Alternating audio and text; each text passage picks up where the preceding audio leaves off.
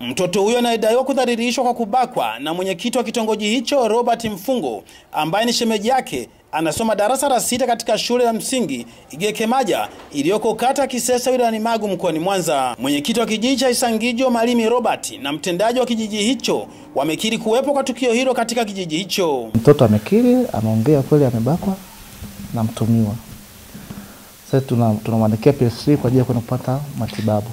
Kwa kweli inauma sana kwa mtoto alivyofanyiwa hivyo. Kwanza ni kitendo cha ukatili, ni unyanyasaji, pia ni udhalilishaji. Kufuatia tuhuma hizo za kubaka za mwenyekiti wa kitongoji cha Kanami, shirika la kutetea haki za wanawake na wasichana la Kivulini limepaza sauti.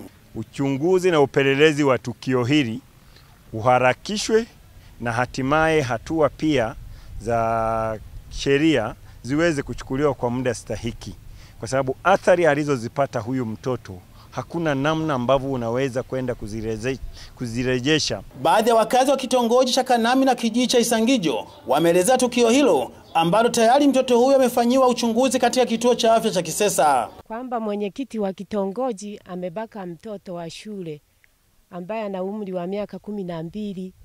Kama mimi mzazi, limeniuma sana. anadhalilisha sana na wanawake, kwa sababu kesi kama hii hii ni kesi namba mbili kwake ya ubakaji, ni kesi namba mbili. Halafu pili, kesi za kuwapa ujauzito wanafunzi kwa katisha masomo ni nyingi tu.